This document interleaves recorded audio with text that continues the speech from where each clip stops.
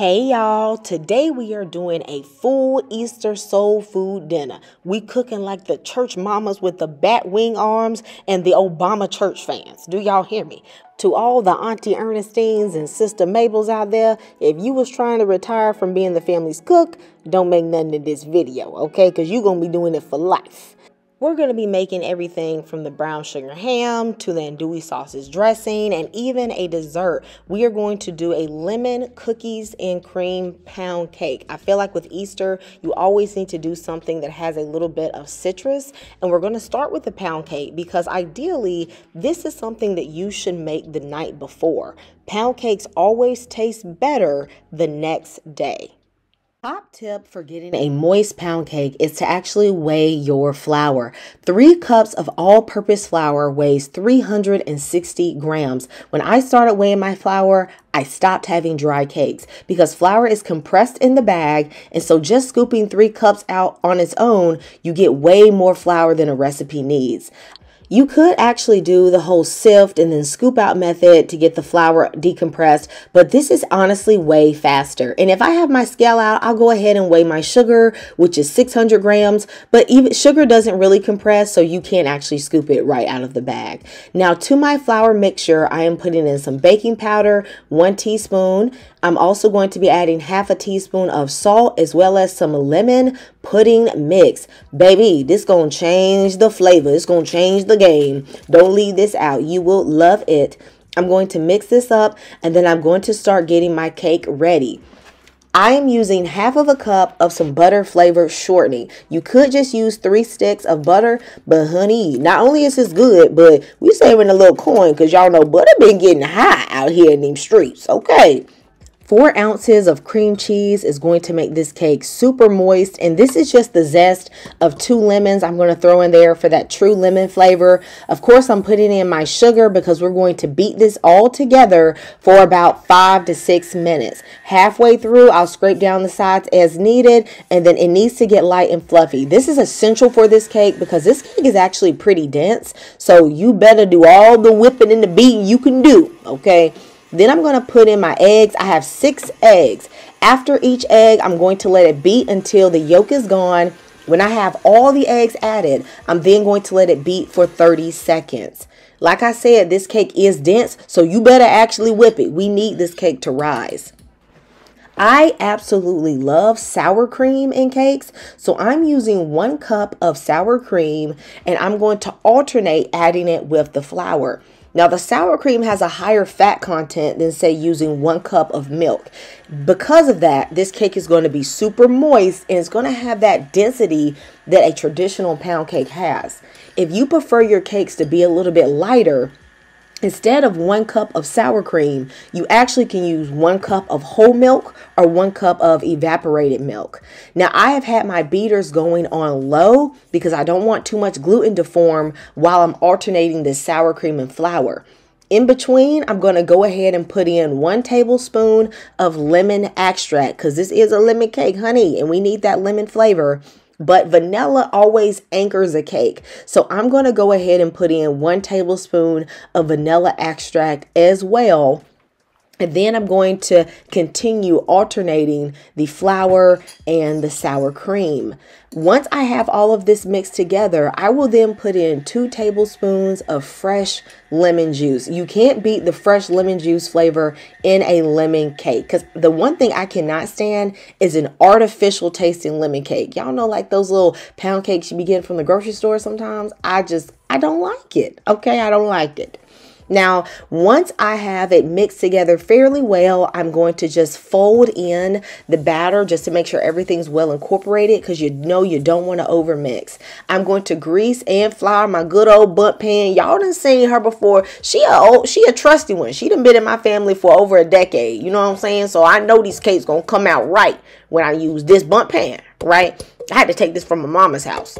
Um, then I'm going to go ahead and put the flour around here, get it ready. And this when the magic start popping, okay? I have some lemon Oreos, mm-hmm.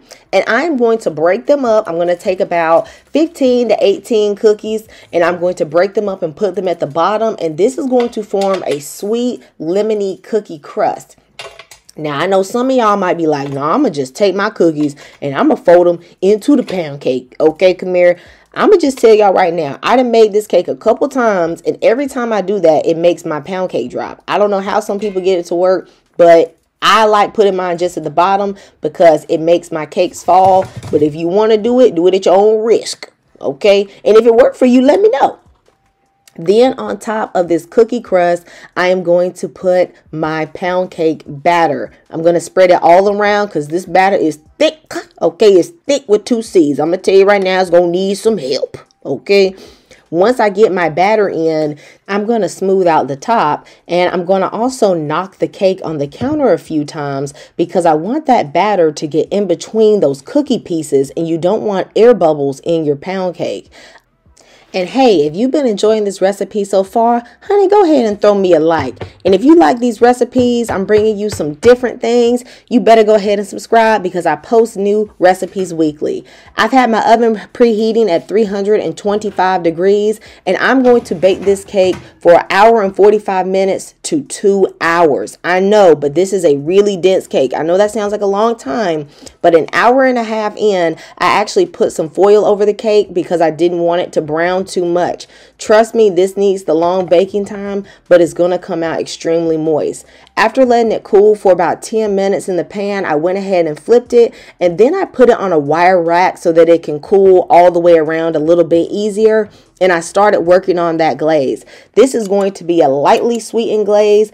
It's going to be really creamy and a little bit tangy. So I have two ounces of cream cheese, one cup of powdered sugar, about a cap full of vanilla and then I'm going to add enough lemon juice to get the texture that I want from the glaze. I want mine a little bit loose. I ended up adding in the juice of one and a half lemons and putting in about a tablespoon of heavy cream. I beat everything together and then I realized I wanted it a little bit looser and then I put in some more lemon juice. Now this is going to be a little bit tangy from that lemon juice, but trust me, it's going to pair very well with the sweetness from the cookies. So you don't need it to be super sweet. Your eyes are not deceiving you, honey. I did cut out a slice. it was so good. And then I glazed it, honey. And you know what? Ain't nobody say nothing about it, okay? So I glazed this cake up really well and then I decided I was going to decorate it. So I just took maybe about five Oreos and I broke them into large chunks at first and then I broke them into smaller pieces just to fill in the gaps, you know, and make it real cute and pretty. And y'all, everybody was loving this cake. If you make this cake, please let me know. The night before a big meal, I also like to make my cranberry relish. This honestly tastes the best if it cools overnight, so this is something you can do while the cake is cooking. So I'm gonna add 12 ounces of cranberries with one cup of the juice from the pineapple and the mandarin oranges, a 15 ounce can of oranges, and eight ounces of crushed pineapple a half a cup of sugar. Now y'all y'all know cranberry relish is basically jam, so don't even be up in here talking about this too sweet, okay? I'm going to mix this together and then I am going to add in one box of jello. Like now, I know everyone don't do this, okay? But, you know, my auntie taught me how to do this and I absolutely love it. You can use the strawberry kind or the orange kind and I've had great results with either. I'm going to let this come to a simmer for about, you know, six minutes until you hear them cranberries pop. Okay, that's how you're gonna know they're getting soft. And then you wanna refrigerate this overnight or six hours. I like to add in half of a cup of pecans with the heat turned off and then just let this set. Are you guys into doing ham, lamb, or turkey for Easter? Before refrigeration, they used to slaughter pigs in the winter because it was cool and the meat wouldn't spoil. So by the time spring came around, ham was the best choice for the holiday table. Now this is a nine pound ham. It was already kind of in some brown sugar glaze, um, just, just in its juices and I left it, okay?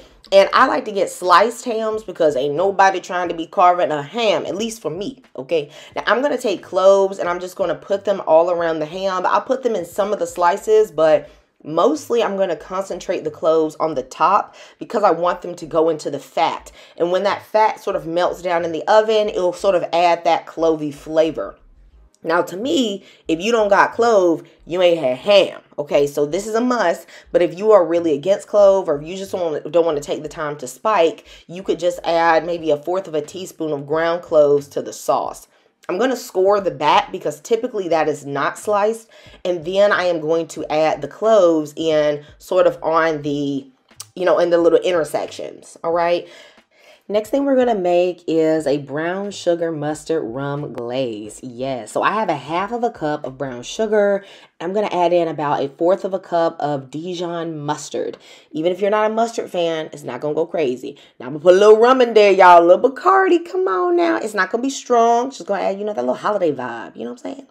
Then I'm going to use about a tablespoon of honey and I like to add in some spices. So I'm going to use about a half of a teaspoon of cinnamon and about a fourth of a teaspoon of nutmeg. Of course, if you're using your ground, clove, you could add it in now. And I'm going to put in a pinch of salt.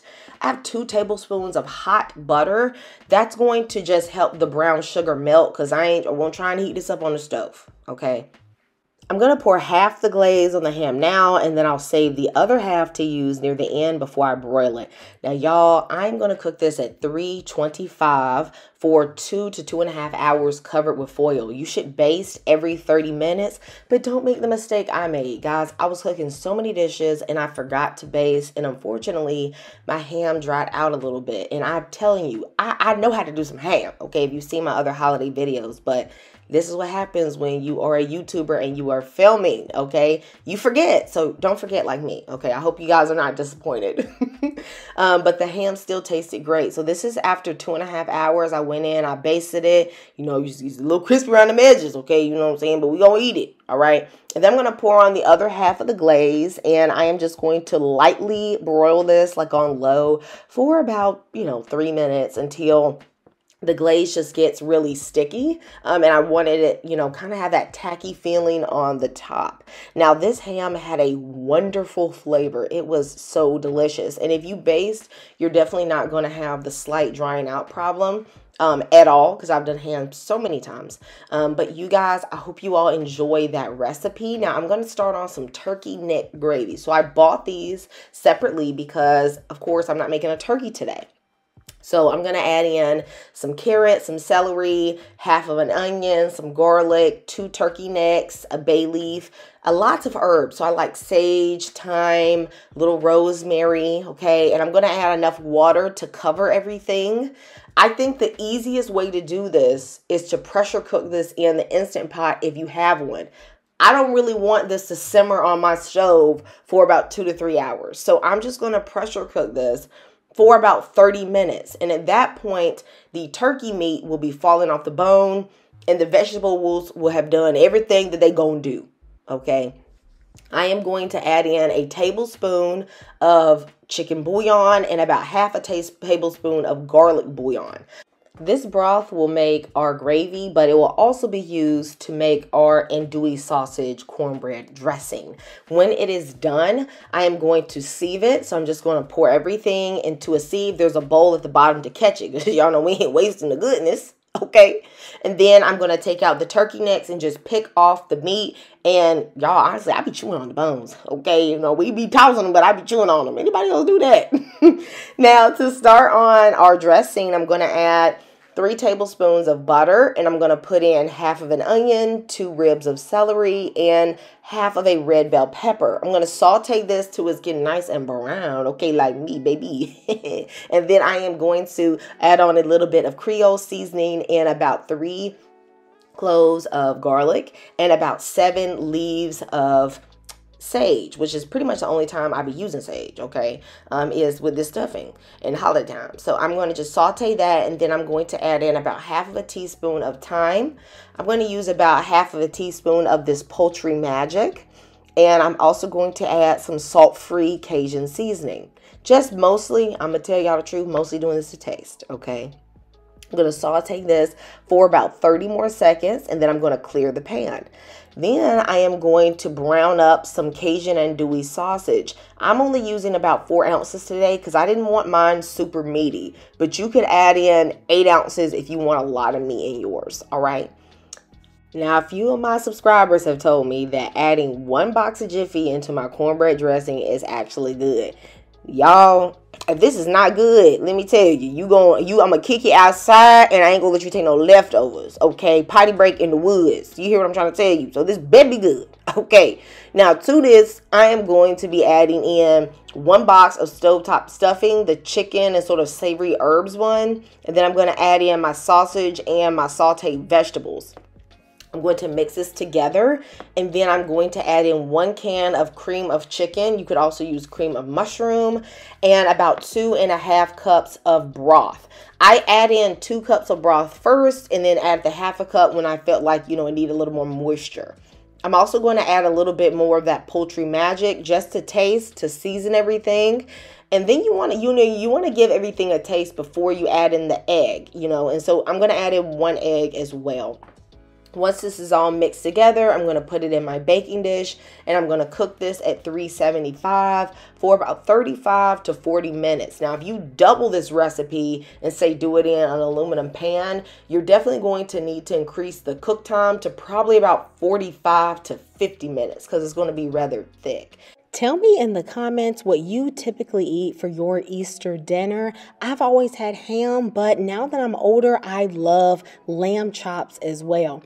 Growing up in a large family of seven people, I actually never had lamb chops until I was an adult. And you know, back in the day, at least my parents would say, you know, there's some foods that are not meant for kids, like your taste just can't appreciate the food yet until you get older. So I never had it, but I love them. And I'll link a recipe down in the description box. Now, this dressing is absolutely delicious. And if you want, you can actually put this together the night before and then bake it the next day. Now this turkey gravy easy. I'm just going to put about five cups of the broth in a pot. I'm going to add the turkey meat and then I am going to add in about a tablespoon of cornstarch with about a fourth of a cup of water mixed in and I'm going to let this simmer for about five minutes or so until it thickens up. I'm going to add salt and pepper just to taste and that's all you need for a delicious easy gravy. It already has the flavors from the veggies and the turkey bone and all that goodness. Y'all, these wine braised greens are some of the best greens of my life. And if I'm lying, I'm flying, baby, and my tail's still on the ground. Big mama, if you make this, they gonna be drinking up that pot liquor and shoot. You may even get your big daddy, okay, bring around these greens. Cause these greens gonna set it off, let me tell you, okay. So I am going to be putting in some brown sugar, some chipotle and garlic seasoning, Creole seasoning, pepper, and red pepper flakes. I'm adding this to my sauteed bacon and onions. I'm also going to add about a half of a tablespoon of chicken bouillon and I'm just going to saute this for about a minute. Then I'm putting in one cup of a dry red wine. I'm just using, you know, a little expensive one from the Aldi's, okay? And I'm going to add this. Now, you want to let this simmer until this sort of reduces by about half. So there's not going to be any alcohol in the greens. But this white wine is kind of going to act like your vinegar because it's acidic and it is going to add a wonderful flavor. Then I'm going to put in a mixture of kale, turnip, and mustard greens and two turkey tails. I know y'all know about that, okay? I'm to add in a liter of boiling water just to help reduce the greens right away from my kettle. I'm to cover this and I'm to let this simmer for about one hour to an hour and 10 minutes. Y'all to love these greens. They are tender. They are easy. Since I didn't use collards, there's not any bitterness. So good, okay? Next, we are going to make a delicious cheesy corn pudding. I think that the cheesiness from this pairs so well with the other things in this meal. If you try this, let me know what you think. I am putting in evaporated milk, butter, sugar. I have some sour cream that's going to make it really moist. I'm also throwing in three eggs and I'm going to whisk this really well we want to make sure we break up those yolks, especially before we add in our flour, which we're definitely going to have to beat that well because we do not want any lumps. And this flour is going to help give it a little thickness. I'm also going to add in some Creole seasoning and some baking powder and a little bit of pepper just to give it a nice flavor. I'm putting in three tablespoons of minced onion. Now the habanero that I'm putting here is not going to make it spicy. It's going to add a nice flavor, so definitely add that. And the red bell pepper is going to give it a lot of color. I'm then going to add three cups of corn. Now, this is just drained canned corn, but you could also use frozen. That would be totally fine. And I'm using a cup and a half of mixed cheese. So I have here some sharp cheddar cheese, as well as a habanero pepper jack and a little bit of Munster. Basically, I just took whatever cheese was in my refrigerator and I chopped it up and I put it in here. So you can use whatever blend that you would like. I'm then going to spray a baking dish and I am going to put this in there and I'm going to cook this at 350 for about 45 to 50 minutes. It's really going to depend on the size baking dish you use. If you use a larger pan, it's going to take less time, but that middle really has to be set. Now, a lot of people ask me, they see my cast iron skillet in the oven. They say, why she, you know, why cast iron, why Mabel down there? Okay, Mabel live in the oven, y'all. Y'all trying to evict her, but that's where she be at all the time, okay? Now, as you can see, this cheesy corn pudding is really bubbly and golden brown. This has so much flavor and the little colors from the pepper just really just make this really nice. I allowed this to sit for about five minutes before cutting into it. And this is so good. Let me know if you're going to try this recipe. Next, we are going to make a classic Southern potato salad. Now here are my ingredients. I have some Tony's Creole seasoning. I'm using some chicken bouillon, a little bit of honey. Now this is not normal, but my Aunt Polly, who could throw down on some potato salad, she used some honey, so I'm to use that. I have sweet relish, of course, potatoes, yellow mustard. I like Duke's mayonnaise for potato salad. A little bit of Old Bay, but we ain't to add too much because we don't want to be like seafood, okay?